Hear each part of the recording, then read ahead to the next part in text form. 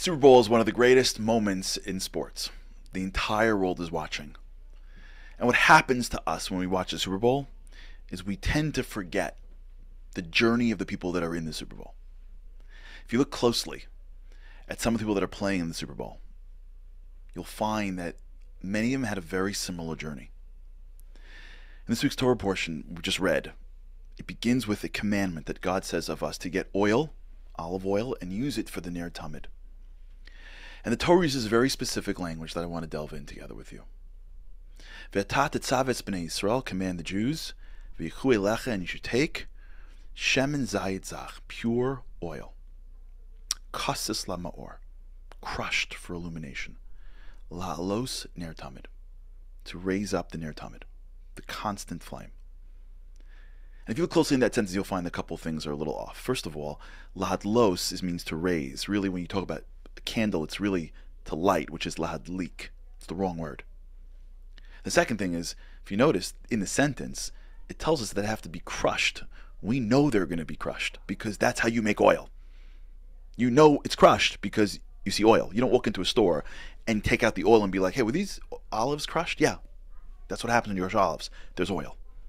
Had God said, take oil, we would have been good.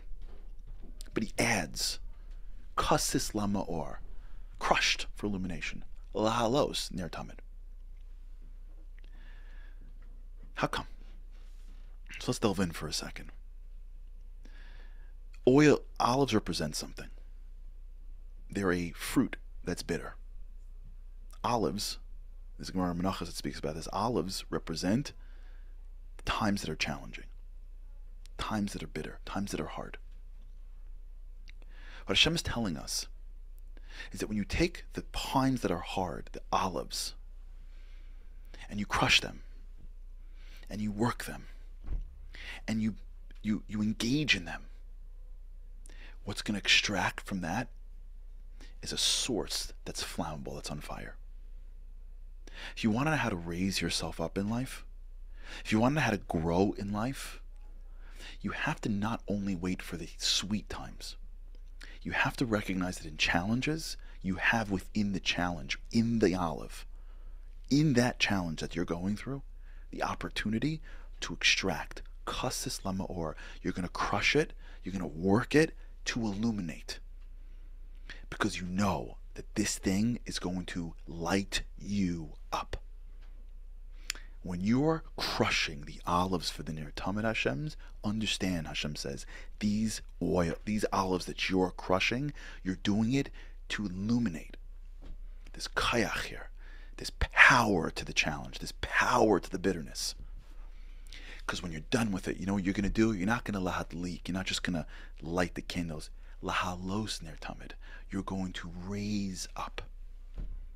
Because when you crush, and when you work and when you engage and when you don't let it to take over you when you go after and you're able to see challenges as an opportunity we should never know pain. We should never know suffering.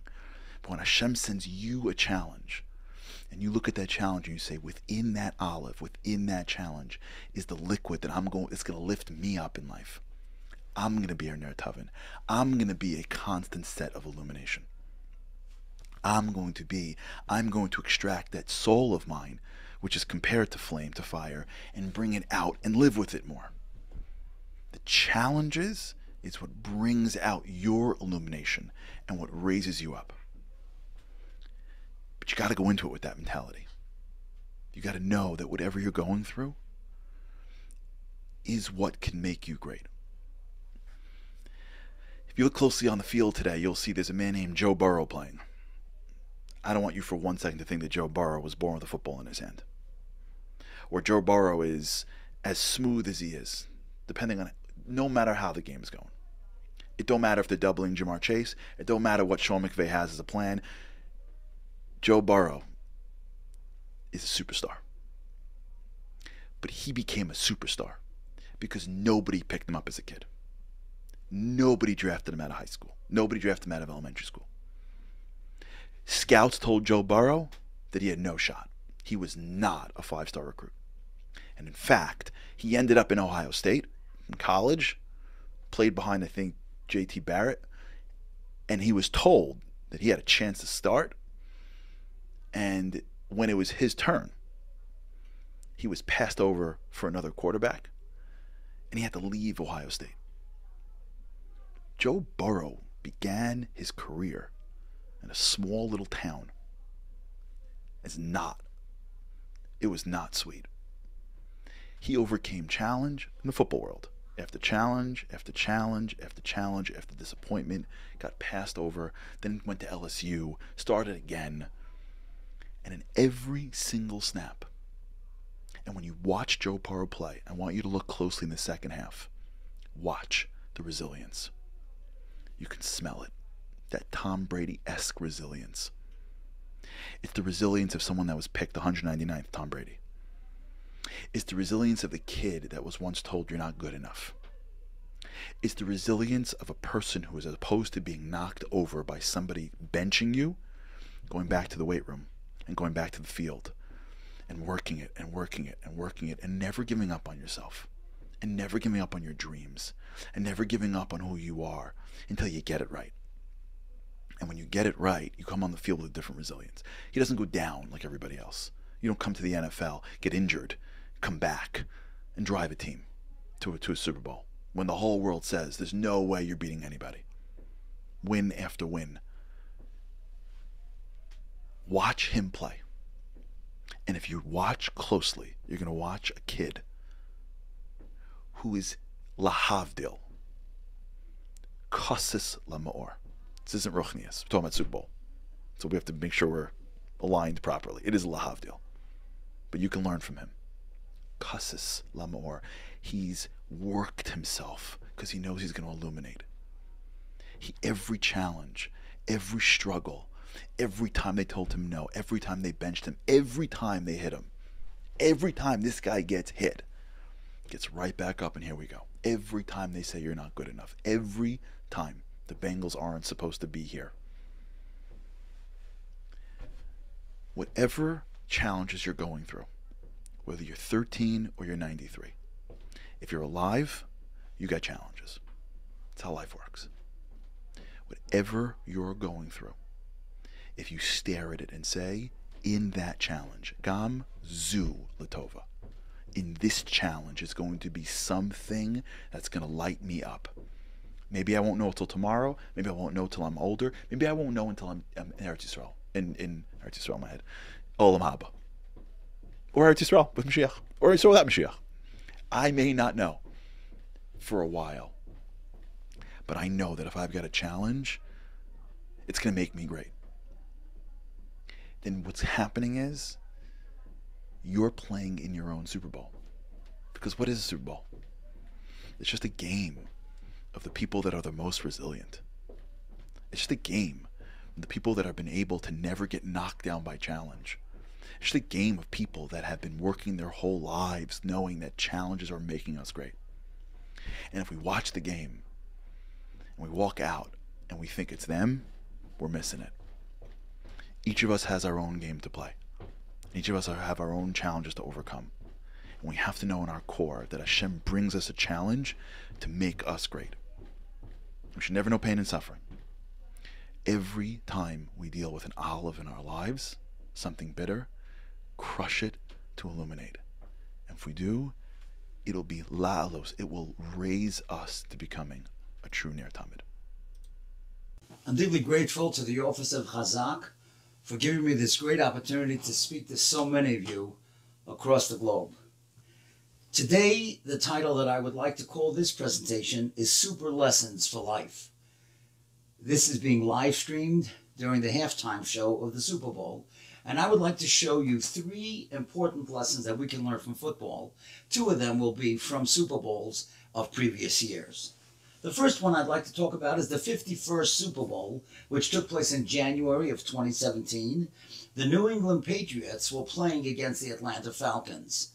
Now, in the third quarter, there were only eight minutes left in the third quarter, and Atlanta was leading 28 to 3. No team ever in Super Bowl history had come back from a deficit of 25 points. And yet, remarkably, Tom Brady, who's probably the greatest quarterback ever who recently retired, he was able to orchestrate and bring the team back. And eventually they won the game in overtime 34 28. How did that happen? What did that prove? You know what it proved to me? That you can come back. You could be so far behind, and millions could be convinced you're never going to come back. But if you surround yourselves with good people and you're determined like he was, you can do anything. He had great players alongside him. They recovered fumbles, they sacked the quarterbacks, they made great catches. Now, let's say that you want to come back in tshuva, for example, let's say in tefillah. You feel you haven't been davening well. What do you do? You surround yourselves with mentors, with chavrusas, with people who can show you what it means to daven well. And you do one play at a time, just like he did, slowly but determined. You're not going to go from not having kavana at all to having kavana davening the next day. Take Shema Yisrael, work on Shema Yisrael, learn the meaning. Then week or two later on Ashrei, then on Ezra, one play at a time. And if you do that, and the same thing with learning, you feel you're so behind in learning today, you couldn't learn anything. Online, you have the greatest shiurim on Daladov. Rabbi Bornstein, Rabbi Stefansky, so many people on Shas Illuminated. You can have Mishnah, you can learn anything. You can always come back. Just be surrounded by good people and just be determined. That's the first lesson of 51st Super Bowl. You can always come back. The second one, the second lesson, well, many of the younger people that are watching probably never even heard of this name, but the older people who are listening, and if they're football fans, they will never forget the field goal kicker who came from Cyprus. His name was Garo Yepremian. Now, you have to see this to believe it. It was unbelievable. He was very short in football standards, only five foot eight. And this took place in January 1973, 47 years ago, the seventh Super Bowl. The Miami Dolphins were playing against the Washington Redskins. And this guy, Yepremian, was a great field goal kicker. He led the NFL three times in field goal accuracy. But he made one of the worst mistakes ever as the game was winding down. There was only a couple minutes left. Miami had a perfect season. They won every game of that year, and they won every game in the playoffs. That was going to be the only time ever in history that a team will have won every single game. Now, it's only a few minutes left of the game. The Miami Dolphins are winning 14 0 and Yepremian was going to kick a field goal, which would make it 17 0 and the Redskins would not be able to come back. But instead, he didn't kick the ball high enough, and it was blocked, and it came back to him. Now, this short little guy never prepared for this situation that he had the ball. Everybody was coming to tackle him. What he should have done is fall to the ground and take the loss, but that's not what he did. He tried to do something he never did before. He tried to throw the ball. Of course, he couldn't throw it. One of the Redskins picked it up, ran it back for a touchdown, and now instead of 17 nothing, it was 14 7. And the Redskins could have won the game. They didn't. Miami was able to hold on, and they had the perfect season. But what did we learn from that? If you are not prepared for a pressure situation, you're going to do awful things. And you know something? He was never prepared for the ball coming right back to him. And that's what is in life. David HaMelech writes that in the very first pasuk in Tehillim. He says, Ashri yish holach Don't go in the way of evil people. Over there, and don't stand with sinners. And don't sit with those that are jesters. And Rashi tells us, if you don't go, you're not holach, then you won't stand, and then you won't sit with them. Be prepared. If you're going with a group of guys, and you know they go into a place they're not supposed to go to. Don't go along and say, okay, I won't go in. You know why? Because they're going to pressure you. At the end, you're going to go in. You're going to a kiddush and you know there's going to be a lot of drinking there. And you know you shouldn't be drinking. Don't go to the kiddush. Because if you see all the chaver drinking, you're going to drink as well. You're going out for lunch, whether you're a boy or a girl, and you've got a half hour until you get back to school. Don't sit and talk until 27 minutes, and then when you're supposed to bench, you're rushing the benching. That's the whole thing. You want to say thank you to Hashem that you're able to have a pizza. You're able to get go out with friends. Stop in advance. Think about it. I've got only 30 minutes for this time between periods when I go back to school. So therefore, I've got to prepare that I should have time to bench. Prepare in advance. Prepare for the difficult situations. And finally, the third lesson that I think that we can learn is what I'd like to call the two-minute warning. Now, the two minute warning was instituted in 1942, by the way, in the NFL. And basically, what it is, is right before halftime or right before the end of the game, there's two minutes so that the field, so that the teams can regroup. But I want to tell you a great story. Many years ago, the Rosh Yeshiva of Torah Vodaas, Rabbi Avram Pam Zechatzadik B'Kodesh L'Vrocha, he davened in a certain shul. He wasn't the Rav in the shul. And there was somebody that was very sick. And Rav Pam couldn't go visit him in the hospital because he's a Kenyan. And you don't know in the hospital there could be dead people there and the morgue, so he couldn't go in. But he wrote him a letter. And this man was so touched that the Rosh Yeshiva, Rav Pam, wrote him a letter. He kept it under his pillow. And everybody who came in, he showed them that letter. And not only that, a few months later, the man passed away. And one of the Rabbanim that spoke at the Levaya said about this man, you see how chashiv he is that Rav Pam wrote him a letter. The great Rosh Yeshiva Rav Pam took the time to write him a letter. And they told Rav Pam about this. They said, you see what your letter did? It accomplished so much. It gave him chizik. He kept it under his pillow. He showed everybody. They mentioned it by the hesped. Rav Pam said, oh, that's so frightening to me. He said, why? They said, why is it frightening? You should feel good about it. He said, how long did it take me to write that letter? Two minutes. How many times do we have two minute spans that we just waste and we don't accomplish?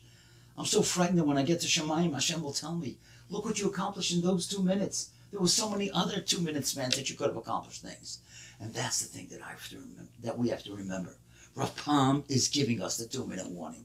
He's the referee who's telling us, you got two minutes, don't waste it. Maybe say Tillim for a chayla. Maybe take out a chumash and learn some chumash. Learn halacha, mishnah, whatever. You could call a person that's lonely. There's so many people today that are lonely and, are, and feeling out of it. Call them. Make them feel special. And I believe, you know, when I go to Poland and I take people to the cave of Sarah Schenirer, you know what she had up in her school? This pasuk can tell him, Per Tzadik Pasuk Beis. Lemnois Yamenu Kain Hoida. The simple meaning is, Hashem, tell us how many days we have left so that we can accomplish everything that we have to. But you know what she said? She said, menu, count your days, make every day count. And she used to tell the children, count your days, count your hours, know that every minute, every second counts. That's the two minute warning. You know something? We all live in the field of life and we all have goals. You want to have a goal? You want to have the ultimate field goal? The ultimate field goal is in the field of life. Make sure, know that you can always come back. Prepare for pressure situations and remember the two minute warnings. Then you'll accomplish the ultimate field goal. Thank you. Since 2006, Chazaq has inspired thousands of people via its numerous life changing programs. From little children to teenagers, from men to women, from yeshiva students to young rabbis, and everyone in between. Chazaq touches them all, educating, inspiring, and guiding thousands throughout the year.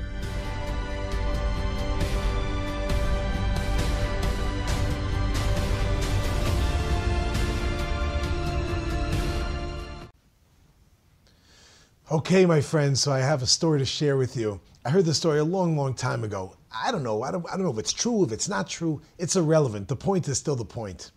Fill in the blank with the person whom you've heard the story with. But here's the way that I heard the story. There was a basketball player. I know, I know it's a football game. Relax, relax. There was a basketball player by the name of John Havlicek. John Havlicek played in the Boston Celtics in the 1960s, and there was a. Uh, it was said about him that he was a serious, serious worker, a guy who put everything everything into the game, and he worked very, very hard.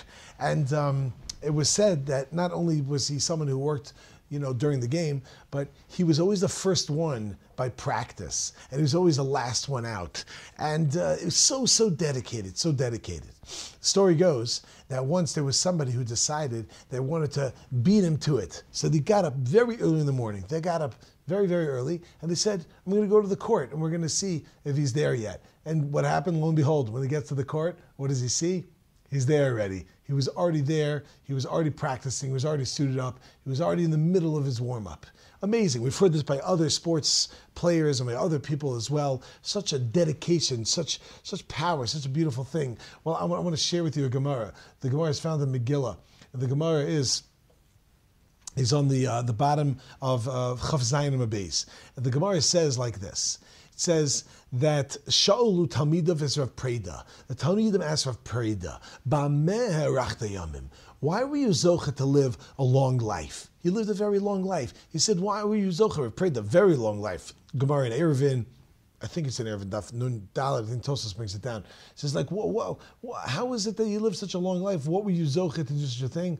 Me see if Tosas. Eruvin, yeah, uh, Nun Dalet base. So what, what exactly? What did you do? So he says, Amar miyamai. My whole life, lo kidmani adam the base medrash. No one ever beat me to the base medrash. I was always the first one to the base medrash. Now we take a look. You see, look at this guy, John Havlicek. You look at all these different sports players. Look at all these guys. Look how dedicated they are and where they come up and how they do amazing things. So we contrast with contrast that with other people. And I want to take you earlier than Preda, earlier the Preda.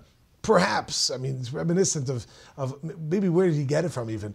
If, if you take a look, we find in Pashas Balak, Perichav Beis, Pasuk Chaf it says, Vayakam Bilam Baboker, Vayachavush Asono. And Bilam got up in the morning and he and he started to saddle his own donkey. Now that's that's an amazing thing. Rashi over there says something amazing. He says mikan she'asina mikakeles es hashura. From here we see that sinna, that hatred, messes up lines. What does that mean that it messes up lines? Shechava shuba atzmo. That he did it himself. Very strange. He was a very wealthy man. He had servants. He had a vadim that could have done it for him. Why did he do it? Because he wanted to show how much he hated Klal Yisrael. Amar Hakadosh Baruch Hu says Rashi. He's quoting the Medrash and the Gemara discussed in the Sanhedrin. Amar Hakadosh Baruch Hu, Rasha, you wicked person. Kvar kidamcha Avram. Avram, their forefathers, already beat you to it. Shenemar, as it says, Vayashkim Avram baboker, Vayachavush es chamoro. That Avram got up early in the morning and he saddled his own donkey. Sifsei Chachamim explains that these are two things going together. He got up early, he didn't even wait for his Misharsim to do it. He got up so early because he wanted to go ahead and take care of this. Balak, you got up early. I'm sorry, Bilam, you got up early. You wanted to go and do a thing also to show what you can do to Klal Yisrael. Well, don't worry, my friend. Let me. I mean, maybe you should worry. Klal doesn't have to worry because already someone else beat you to it. Wow, John Havlicek, that's impressive. Or whatever, whatever sports person we have, that's impressive that we go ahead and they do amazing, you know, feats that they get up early and they do these things. But you know what? Kvar kidamcha, there's someone who's already came before you that did such an idea, that got up early. That's Rav Preda. Rav Preda got up, he was always the first one in the base medrash. No one's going to beat him to it. You know who else came along before that? Go way back to Avram Avinu, and like the Ramban explains, that we understand that Avram Avinu, what he did, he put the spiritual DNA into Klal Yisrael, that that's the way that we're going to be. You think you're going to go and do something, you're going to beat me to it? We've already beat you before you did it. And that's why the Gemara tells us also, similarly in Megillah, the Gemara says, Another going Yud Gimel Beis Amar Ishlakish Galoi V'Yadu Misha Amar V'Hayaolam. It was known before the one who said V'Hayaolam the world should come to be, meaning Hakadosh Baruch Hu. Sha'asid Haman Lishkol Shkalim Al Yisrael. Haman Bu was going to go ahead and separate Shkalim against Bnei Yisrael to go to try to kill them. Lefikach therefore Hikdim Shikleihem Lishklav Lishkalav. He made their shekel before his. He created the mitzvah of Machas Shekel V'Hainu the Tanam. We have the Mishnah Be'echad Ba'adam Eshmim Al Shkalim Balak Kilayim,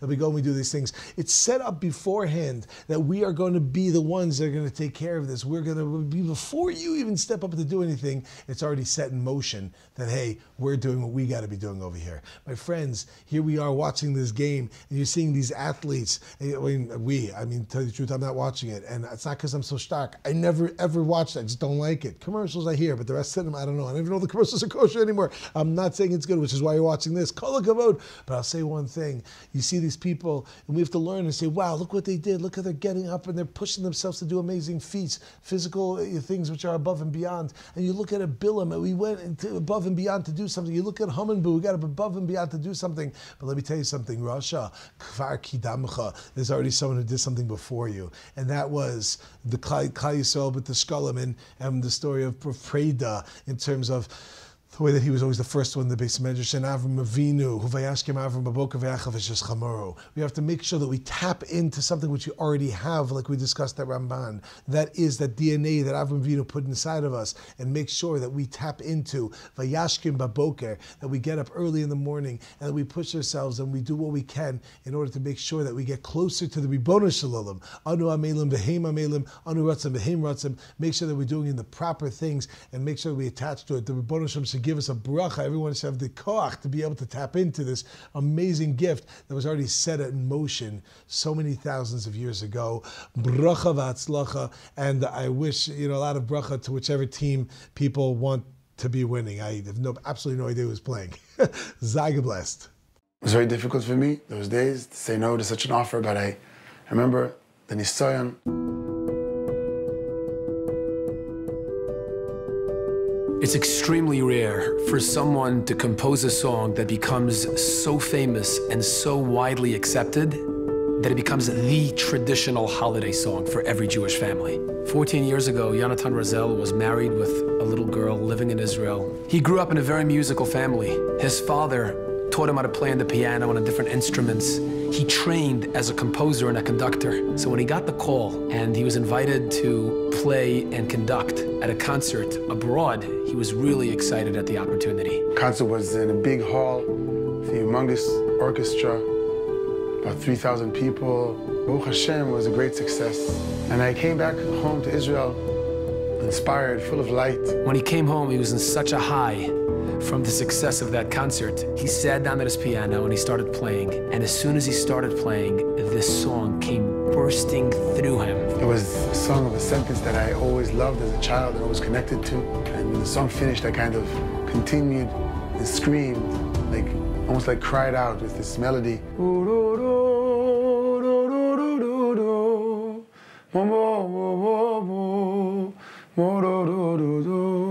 I played that song to a few people. Nobody really got too excited about it. So I put it in the shelf and continued with my life. Fast forward two weeks, he gets a call from a man who introduces himself as an audience member at that concert that Jonathan conducted a couple of weeks earlier. He saw me singing and conducting, and he said, uh, Yonatan, I feel that you can be um, very fit for this idea that I have in your career. And he basically offers Yonatan his dream career, fame, money, and opportunity. It was all there, a package deal. All Yonatan had to do was uproot his family, bring them to New York City, sign the dotted line, and he was on his way to success. I really wanted to do it.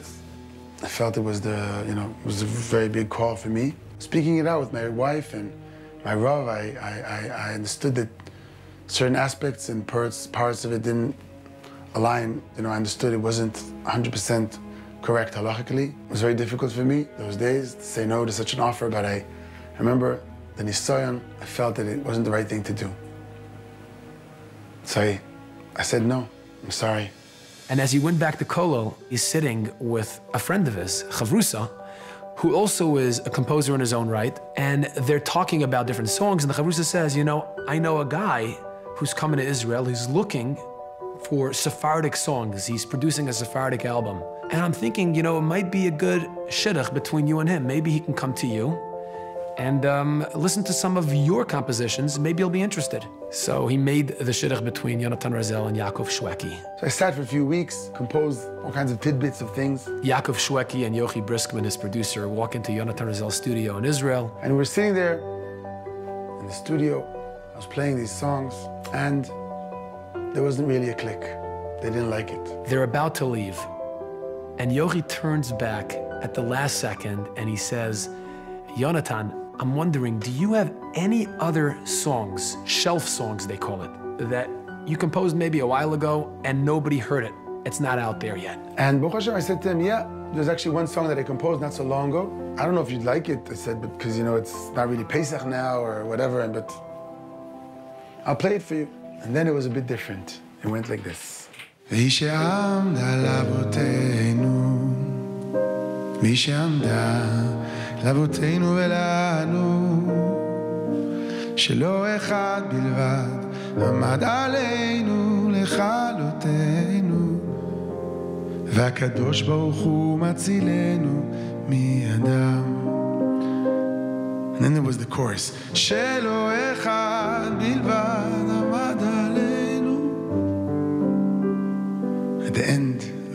The vocalizer, like hard part.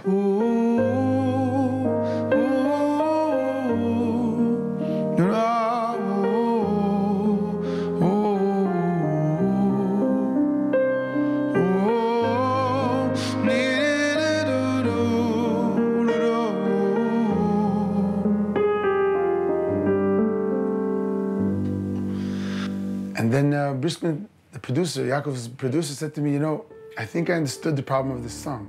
The most important part of the words are Kadosh Baruch Hu Matzilenu. That's the, that's the core, that's the heart of the song. That's the most important part of the words. Why don't you take the words Hakadosh Baruch Hu Matzilenu that were in the first part of the song, in the verse, that were kind of almost hidden. Why don't you put them to the last part of the melody?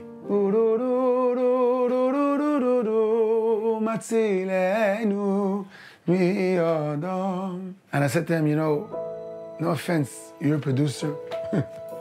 I'm a musician. I don't think it's a good idea. They were smarter than me, Baruch Hashem.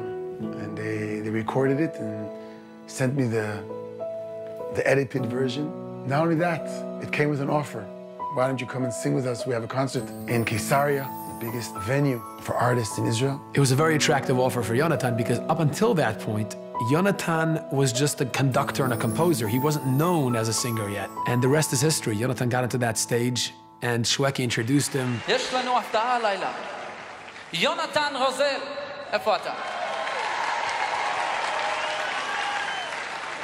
I remember that moment, you know, there's some things you know as an artist, that magical moment when you know something big for you, maybe for the world is happening.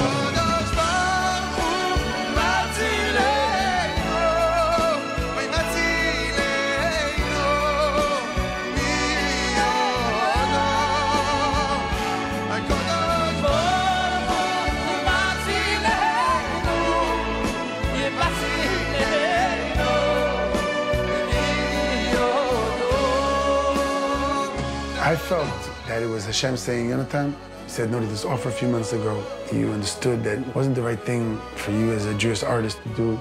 So instead, it can all come in a kosher way. It can all happen in a way that'll add Kiddush Hashem. I played this song to soldiers coming out of Gaza, to prime ministers, presidents. It's a reminder that we never have to compromise our values in the pursuit of success. HaKadosh Baruch Hu has a million different ways in which he can make us successful. Looking back, that opportunity that didn't align with Yonatan's values was a test. And as soon as he passed that with flying colors, HaKadosh Baruch Hu opened another door. And that's how V'hi She'amda came into the world. Etzilenu miyadam.